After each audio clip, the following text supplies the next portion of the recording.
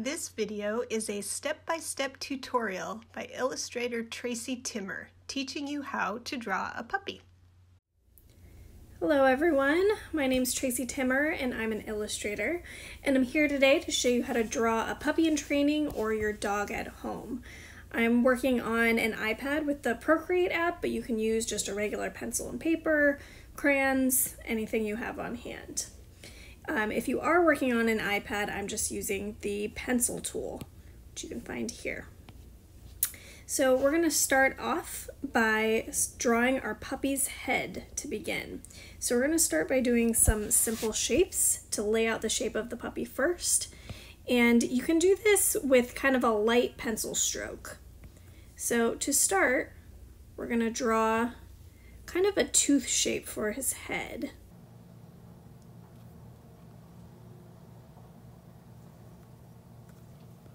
And then for his mouth, we just give him a little bit of almost like a half circle. You can barely see it there. And then we're gonna start doing his ears next. And those are really just triangles with rounded edges that are a little bit tilted to the side. Doing one on each side. Next, we're gonna do his neck. And you can see in my picture that I'm using, which yours might be different, but his neck starts a little bit above where his mouth is. So I'm just gonna draw two lines down from there.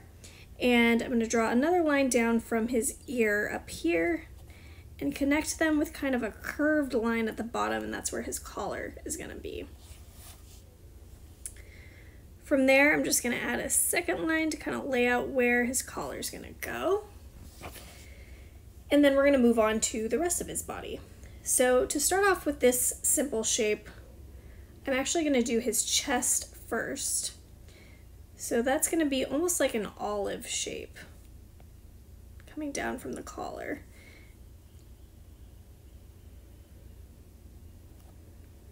And if you make a mistake, you can always erase it. That's why it's good to start with some lighter pencil lines in case you make a mistake.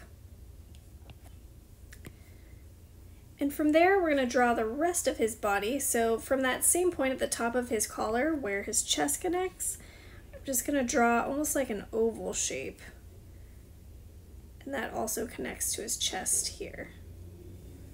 So fairly similar to shape to what we did for his chest originally, just a little bit longer. From there, we're going to move on to his arms. And I'm actually going to start with his front paw. And puppies have kind of thick legs because they haven't quite grown into them yet. So I'm keeping his legs kind of wide. And then at the bottom, I'm just going to add a little half circle for his paws. And also remember, puppies have big floppy paws that they haven't quite grown into yet.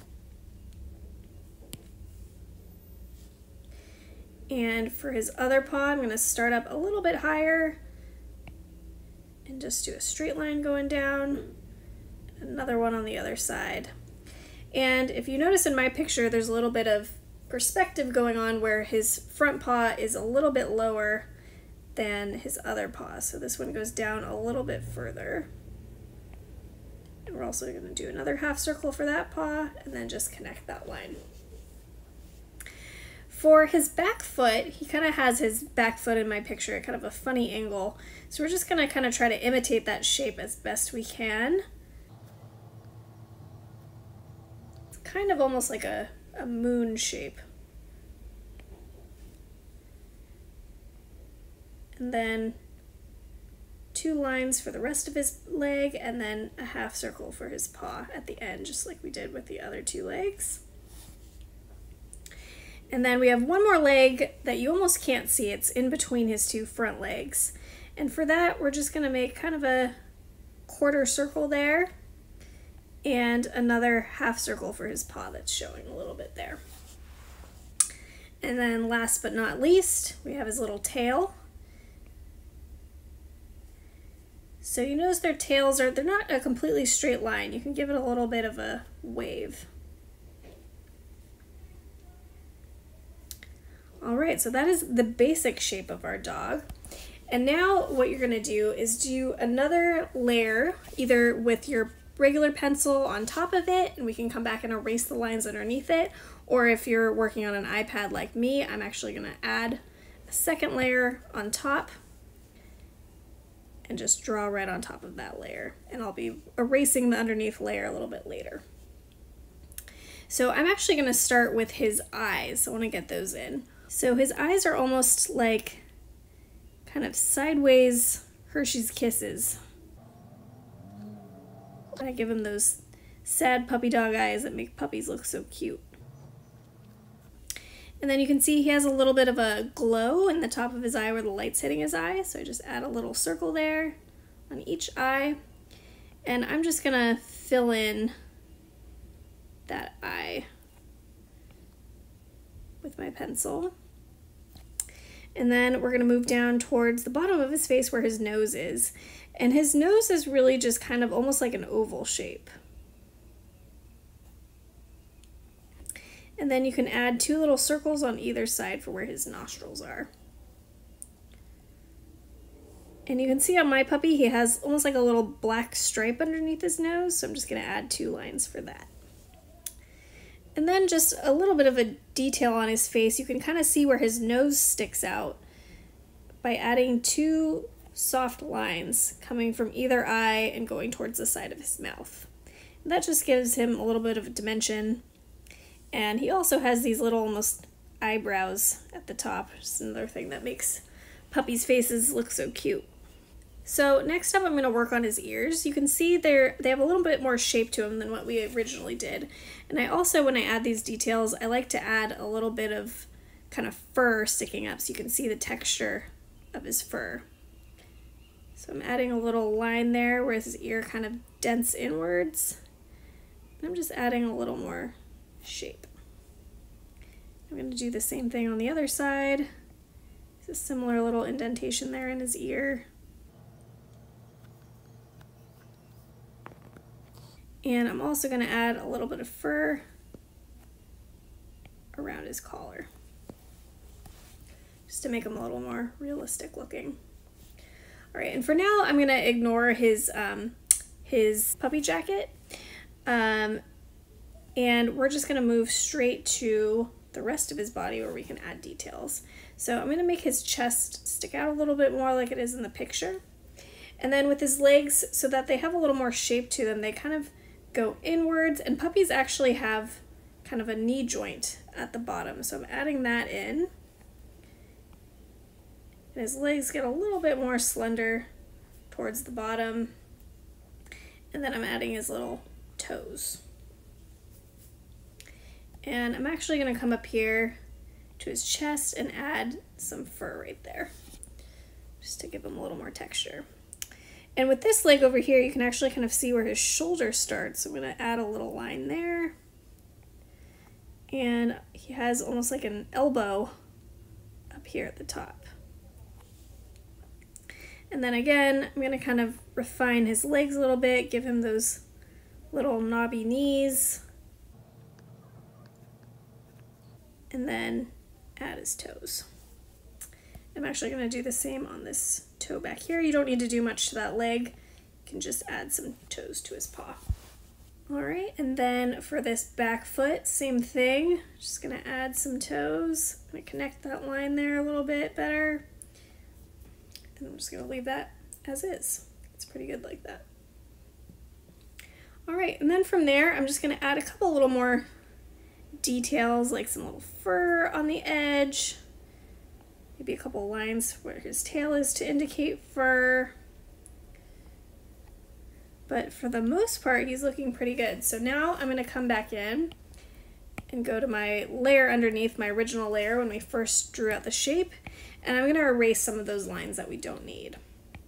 So we don't really need this connecting line here. We just wanna see where his leg is. So we want to get rid of those lines there. This line here we don't need. You can see where we kind of reshaped the legs, so we can kind of erase around that a little bit.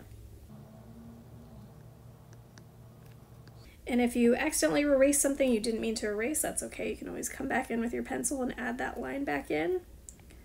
Erase the top of his toes there because you can't really see those. Same thing on this leg, just erasing some of those extra lines that we don't need, cleaning it up a little bit.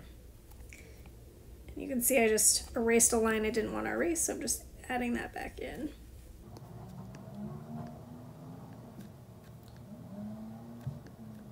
Erase this line here, don't need that one. Kind of see where his shoulder is here. And then, of course, we don't need this line right here.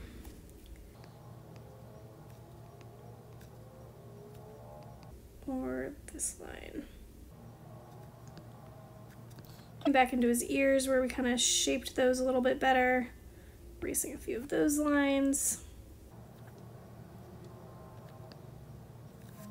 And around his neck. And then I'm just coming back in. Just a couple lines here. Just coming back in and kind of redefining a few of those lines that I may have accidentally erased a little bit too much of. And this is a sketch, so it's okay if it looks a little sketchy. It doesn't need to be perfect. And the sketchier it is, it actually kind of adds a little bit of interesting texture and probably makes your dog look a little bit more realistic.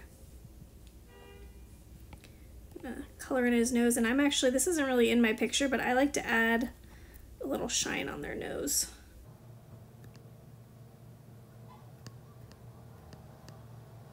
And that just gives it a little more dimension. All right, now add a little bit here, just finish it up there. And if this is your dog at home, you're done. You don't need to add anything more. You can color it in from here. If this is a puppy that you're raising for guide dogs for the blind, this is where you can add their puppy coat. So I'm gonna do that now. So I'm just gonna add a little rectangle over his chest here. It's okay if it overlaps some of your original lines.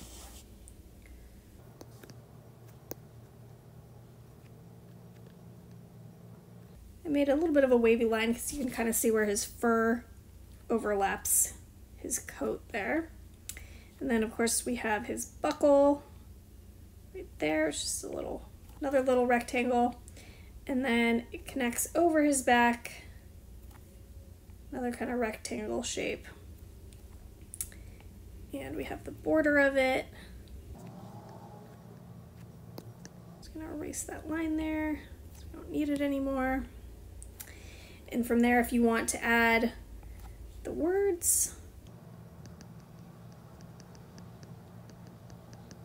Up to you. You don't have to add the words only if you'd like and from there, you're pretty much done. That's your puppy. So if you want, you can go in and color your puppy um, with any kind of, if you're on an iPad, you can use that, of course, but if you're at home, you can use crayons, you can use colored pencils, you can use anything you'd like, and just go in and color your puppy. And I'm actually gonna add a new layer there.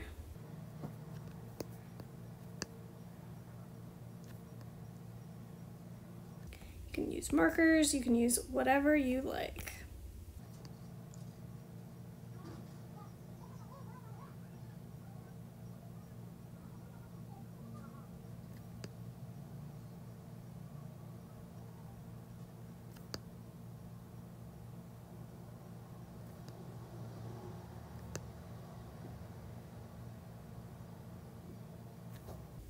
For the sake of time, I'm just going to leave it at that for now and I'll finish the rest of my dog later.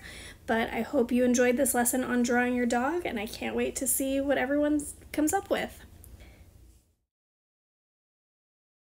For more information about guide dogs for the blind, please visit our website at guidedogs.com or call us at 800 295 4050.